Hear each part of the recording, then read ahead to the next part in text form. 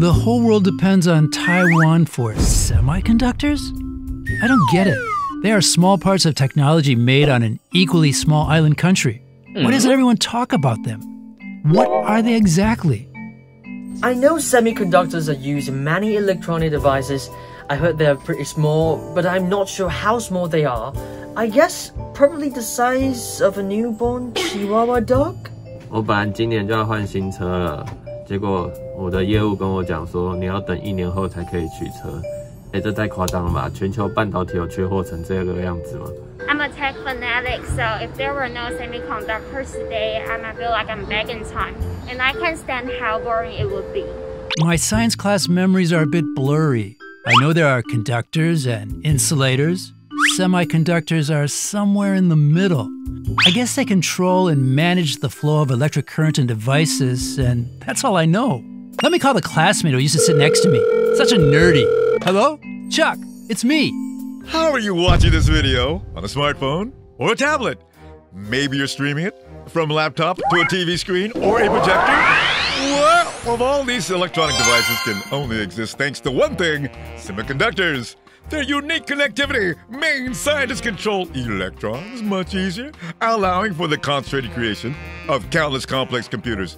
Its discovery facilitated a full scale technological revolution! Taiwan's National Sun Yat sen University recently opened the College of Semiconductors and Advanced Research just to learn more about them. But how much do you know? Time to find out. This is it, ladies! The Kitten Whispers and Tickle Fights in now.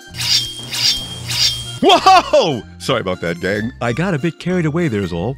I only start glitching like this when there's a problem with my microchip, which means we need to get to the bottom of these semiconductors. And fast! Welcome to the show, everybody! Wow! You all sound absolutely electric this evening. I'm your host, Chuck McSilver. Let's meet today's contestants. Everyone, please welcome Stevie and Tim. This week, we're putting the back in semiconductor. Check out our semiconductor terms microelectronics, electrons, insulator, module, fabbing, connectivity, conductor, transistor, foundry model. Contestants, it's up to you to find those words. Fingers on buzzers. Here's your first clue any substance or material that allows electricity to pass through it. Uh, conductor!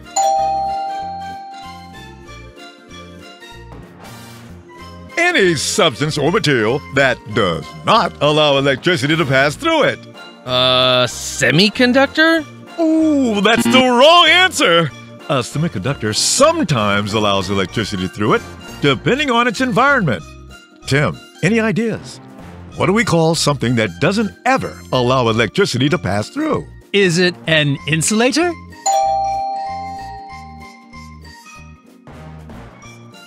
Correctamundo! Whoa! We need to move fast. Next word, please. Device used to regulate a semiconductor's ability to allow electricity to pass through it. Transistor!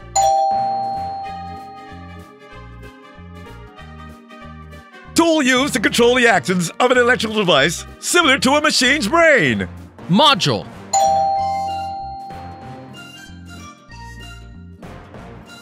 Whoa! I don't think I can wait much longer. We can help! Sure, for some points. Please! I can't stop glitching! Let's think. If Chuck's glitching like this, then he can't control his actions. Which means his module isn't getting enough electricity. If it's not getting enough electricity, then his semiconductor isn't working properly. Which means the problem must be with His transistor! Er, Chuck? I don't think he's coming back this time. Uh, what happens now? That's the end of the round, and it's a tie, which means, uh, everyone wins. Apart from Chuck. Medals for all. So I guess I'm the host now. Uh huh. Is that how it works? Thanks to our guest, everyone gets a medal, and we'll see you next time for another episode of English with Paz. No, no, wait. English with Paz Bueno. See ya, stinkos!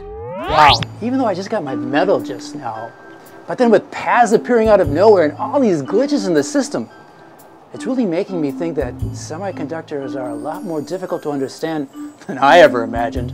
But one thing I do know, never trust that Chuck again. Forget that guy. Hey, but I have a friend who can help us understand the situation. Come on, join me now. Hi there, I'm Tim Berge, and you're watching English with Experts. Today's topic is semiconductors, and we're going to talk about what semiconductors are and why you can't live without them. And as the pandemic has caused many businesses to decline, why have semiconductor business continued to grow?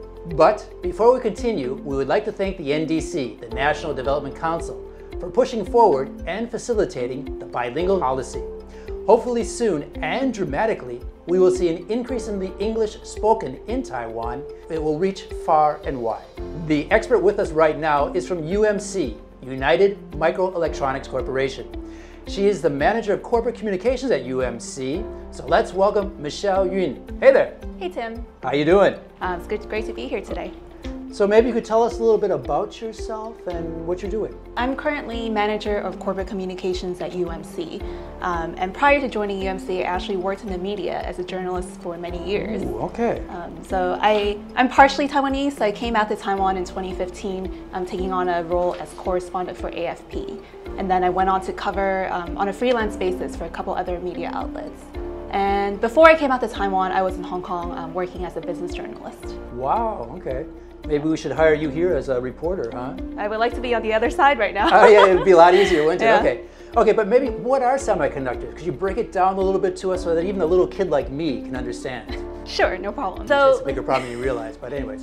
What we're usually referring to is computer chips, microchips, or sometimes also called integrated circuits. So, you know, these computer chips are really the heart of modern society. You know, they power every single device we come into contact with. From the minute you wake up, you reach for your phone to turn off the alarm, to going to work and then working on your PC, going home, maybe turning on Netflix. So all those things are not going to be possible without semiconductors. So my life is going to fall apart tomorrow if I don't have my semiconductor. Yes, you Okay. better go out and go buy some. Keep making those things, okay. So manufacturing chip, if you think about semiconductor, it's actually a very interesting, very intricate, very tiny piece of technology, but it makes so much happen. It makes the world go round, basically. I would liken a semiconductor to maybe a very, very tiny high-rise building, a skyscraper. A very tiny skyscraper. Okay, that's kind of a slight contradiction, but okay, I'll follow, I'll follow. So, so, so, so to make a semiconductor, you start off with what looks like a mirror, a round mirror, a silicon disc. Right. And then you, you, start layering material on it, and then you cut out some of the stuff you don't want, and then you add on things that you want. So it's it's like a skyscraper because you're adding, you have a foundation, and you build layer by layer by layer, and you're doing all of this on. I, I don't even know how to explain to you how small it is. It's Right, but so you're you're building it taller and taller, but we're talking about very small. very, very thin, Terms. very, very small, maybe the size of your pinky fingernail. Oh, Okay, okay. So pinky skyscrapers. I'll remember that for my next semiconductor. and could the world live without semiconductors? And I know the answer to that already, but please tell me. Depends on how far back you want to go. Okay, I don't want to go back very far. Then Let's move forward, okay? I would say probably not. Okay. So as you know, we said that your whole day you come into contact with all these different devices that require semiconductors. Think about your smartphone. How many chips do you think are in your smartphone right there? One? Guess again. A million? Maybe not quite so much, but usually you know, when we talk about buying a smartphone today, it probably has anywhere between 100 to 200 chips. So that's amazing if you think about it. Like how many chips can be stacked on top of each other and fit it together to fit into that tiny space? That's cell phones for you. And when we talk about cars today, largely a mechanical device back in the day, but today, you know, sometimes we call them, what do we call them? Computers on wheels. Exactly. So they, they can have upwards of thousands of chips. Yeah, I know. I was, I was kicking tires on some new cars the other day, and the guy told me, you know, don't even think about it. You're gonna have to wait at least a half a year, and it's all because of the chip problem. You know, it's it's a it's a very far-reaching problem. So why then is there this global shortage right now? So with most things, it's not just one simple answer. It was actually a perfect storm of many factors Okay. conspiring together to cause this. But usually um, in the news, we read about the COVID pandemic had a lot to do with it. And if you think about, in, in, Taiwan, we were not as tightly locked down as other places, but think about the few months we were stuck at home. You know, how did you entertain yourself? How did you work from home? How did you do your classes online? So it prompted a lot of people globally to go out and purchase a lot of appliances, maybe even PlayStations, exercise equipments. So that caused a sharp spike in the demand for semiconductors. So maybe you could tell us a bit about why does Taiwan play such an important role in the global semiconductor industry? So to um, answer your question, I think I need to give an explanation of what the semiconductor value chain looks like. So it doesn't just involve a chip making factory, what we call fab. It involves actually a whole lot of other players along the value chain. So you start off with um, companies that design the chips. Um, they're called IC design companies, and some of them also do manufacturing. And so these IC design companies would send their designs to fabs, and then the fabs would make the chip, and then usually it takes about three months. And then they would send it to another facility to get packaged. And then that package would go to other downstream players, eventually into yourself. So when you say packaging, does that just mean like they cut the chips into the final pieces, or what does that mean?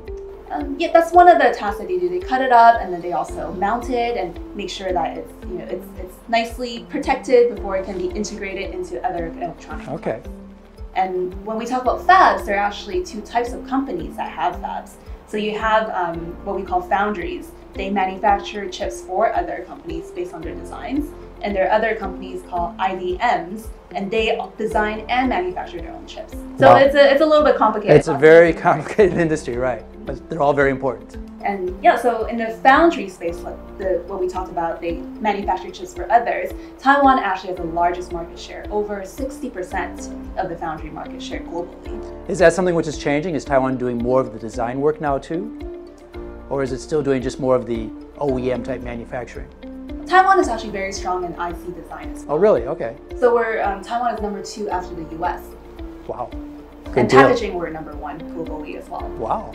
So, Pretty so, impressive. Yeah, Taiwan is a very indispensable part of the global supply chain. Very vibrant, yes. Okay, so with the shortage now, though, what are the challenges and what are the prospects for the Taiwan semiconductor industry moving forward? Let's start with challenges. We get the hard stuff out of the way. So I think for in Taiwan, the semiconductor players, one of their top concerns on their minds these days is talent recruitment. Um, so like UMC, you know, we are expanding capacity in order to meet increasing demand for semiconductors in the future. And of course, other Taiwan semiconductor companies are also doing the same thing. So you have competition for the same talent pool within Taiwan, amongst Taiwan players. But at the same time, because Taiwan is such an important part of the global semiconductor supply chain, a lot of other companies from the US, from Europe are also investing in Taiwan. And they're also competing for the same talent pool. So you can imagine how much competition there is and you know, it's going to be tricky and uh, challenging going forward for everybody to you know, find the right people in order to support the production that they need. Just now you talked about the challenges that the semiconductor industry has faced in Taiwan, but what about the prospects for the future? There must be some bright future, isn't there? Oh, future is certainly bright. Okay. So there, there are many factors that's driving the increase of semiconductor demands for you know the, the near the near mid, mid and also long term. Um, so one of the driving factors is the rollout of 5G across the world.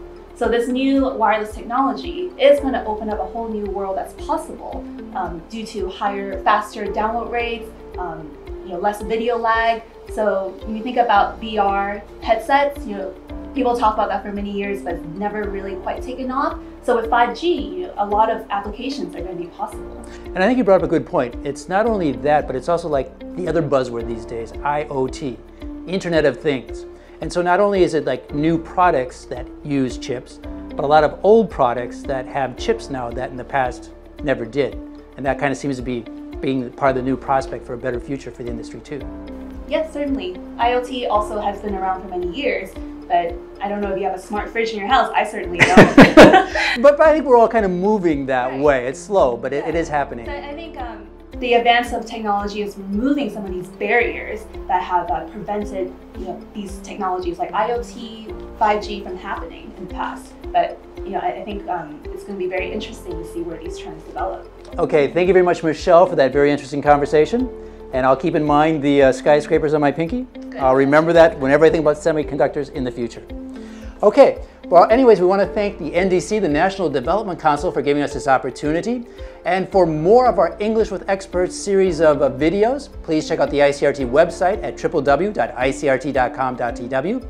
And while you're there, check out the other great content we have for making English a part of your everyday life. Thanks a lot.